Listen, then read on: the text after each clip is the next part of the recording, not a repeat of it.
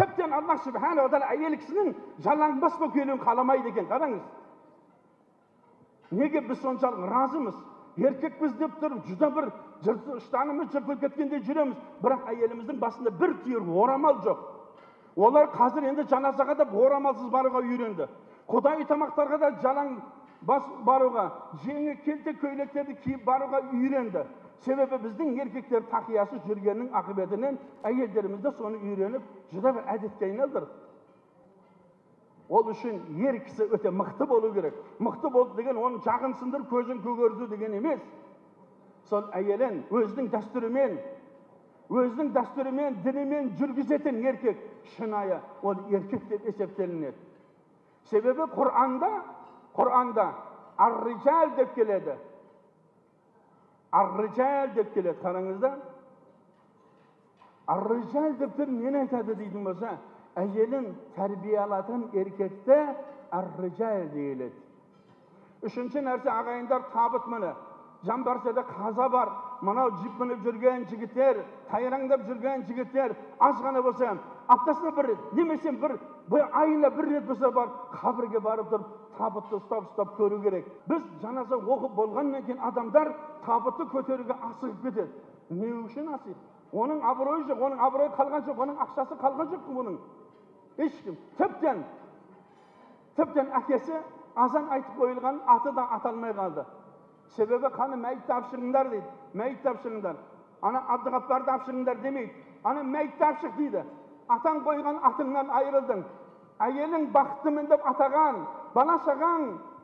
әке жаным деп атаған атыңнан да айырыласың міне сол кезде табытқа адамдар жүгіріп келіп көтереді не үшін адамдар сауап болар ма екен деп бірақ өмірінде дәрет алмаған енді намазын оқымаған оразадан оразасын тұта алмаған құдайдан қорықпаған адамның да табытын көтеріп сауап болар ма екен аз ғана ойланайық аз ғана пікір қылайықшы бұл дүниедегі абырой жинау бұл дүниеде ғана болып қалмау керек ертеңгі ақыреттегі абыройымызды ойлайықшы міне рамазан айында пайғамбар саллаллаху алейхи уассалам айтады кімде кім шын жүрегімен шын ықыласыменен ораза ұстайтын болса алла оның барша күнәсін кешіріп жібереді дейді біздегі ақылды сымақтар оразаны масқара қылып әшкеге айналдырып комедияға айналдырып жүр ғой жоқ ойлама бұл құдайдың парыз қылған амалы бұны ойнама басқа нәрсемен ойнасаң ойна мына біздің кейбір өнердегі азаматтарымыз да бар ғой дінмен ойнама немен ойнасаң ойна дінмен әзілдеспе немен әзілдессең әзілдес себебі адамды адам ұратын болса бір жер сынады көгереді адамды құдай ұрса түзелмейді тәуба қылу керек. Адамды құдай ұрса түзелмейді адамды құдай ұрса түзелмей қалады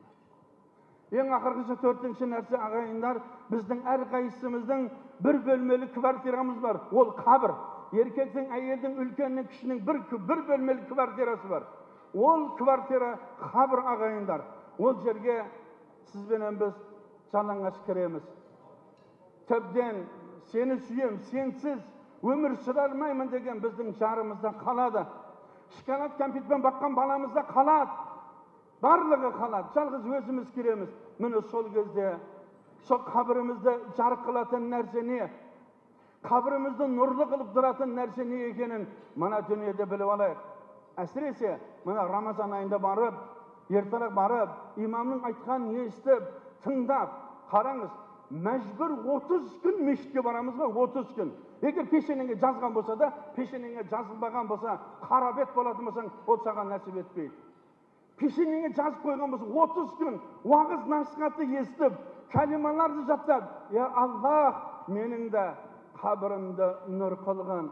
менің де ақырымды қайырлы қылғын деп дұға қылатын пенделерден боламыз себебі бұл бір ай ораза бір айлық үлкен медресе бір айлық үлкен медресе бұл медреседен жақсылап тәлім алып алайық